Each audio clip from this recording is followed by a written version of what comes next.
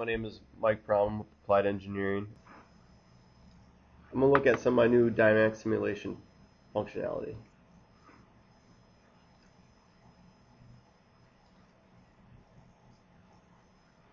So the first thing to notice is this was created with the gear generator of the advanced, advanced components. Um, these two gears are connected along with my, my pulleys and these belts. So this information was created when I actually created these gears. I can now utilize this information in my dynamic simulation.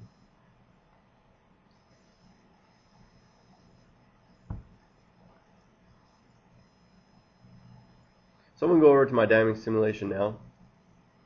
And you can see that when I go to rotate these pulleys and these wheels and the gears, they're all still connected. So this is information that I created um, when I first made the gears, and it's all brought over now into my um, dynamic simulation. I didn't have to do anything here; just automatically recognized that. And I've put an accelerator on one of these wheels, and I'm just going to play this motion.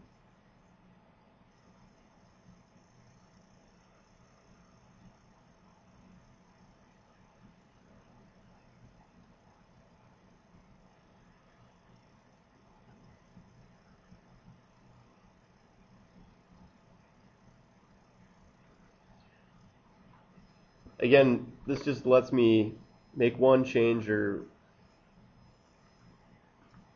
one uh, one area of the inventor and brings it over to the others. So something else that's new is that I played this animation and now I've decided I wanted to add some more traces.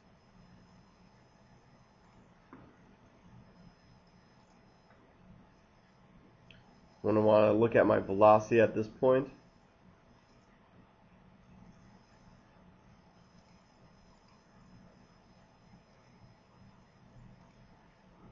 And you can see how it's added. So even though it's looking at the, the simulation, I don't have to rerun it. Um, previously, you know, if I wanted to add some more traces or make any changes to my traces, I'd have to rerun my simulation. Now, the simulation I did on this drivetrain here is fairly simple, so it does not take a lot of time, but you can imagine if I had a large assembly open um, with some different cylinders going in and out and different gears and pulleys to rerun that might take a significant amount of time. So this allows me to make changes, uh, look at my traces, some of my forces, without actually rerunning my assembly.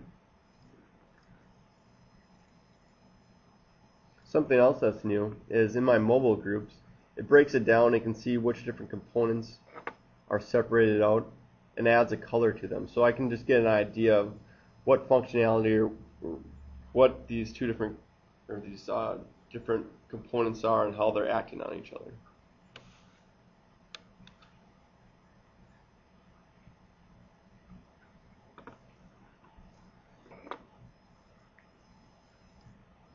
Something else that should be noted here is have the capability to export this to FEA. This is new um, to the output grapher. It was previously a tool in my dynamic simulation panel here, but now it's added to my output grapher. So this motion I just created with these forces, I can mark forces and export them right to my FEA.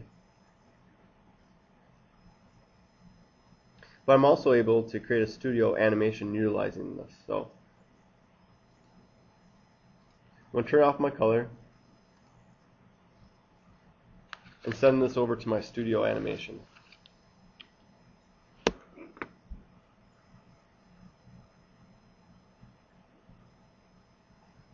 So now I'm in Inventor Studio. You can see underneath my application options. And I just want to have some motion applied to this.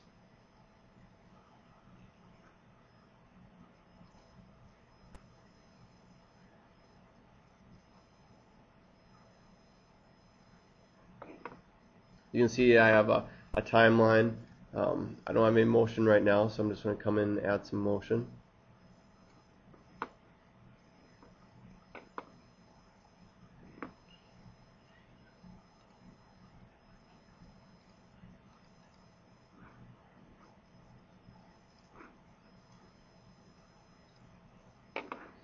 So I'm able to come in with uh, an action, um, maybe just start and end time.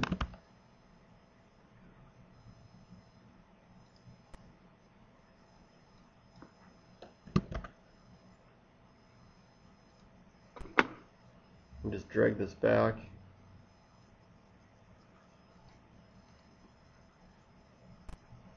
Play this. I didn't add any motion. I can go back and add some motion to that as well.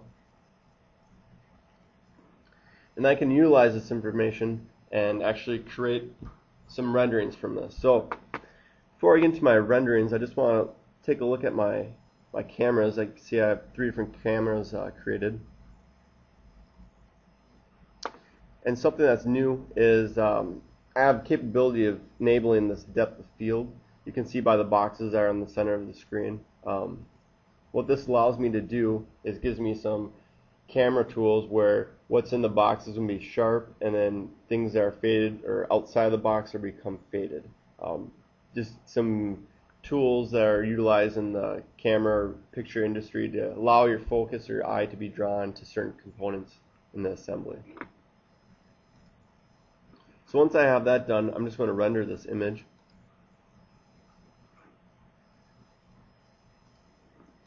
Select which camera I want to use and render this. Now this is just going to take a minute or so. So it just grabs your attention and focuses it to the crisper um, drive wheels. And again, this is just a tool that adds to the quality of the renderings that can, can be created with Inventor. And um, you know, more and more, all these renderings are being utilized by the marketing department and also you know upper management to see what products are actually going to look like.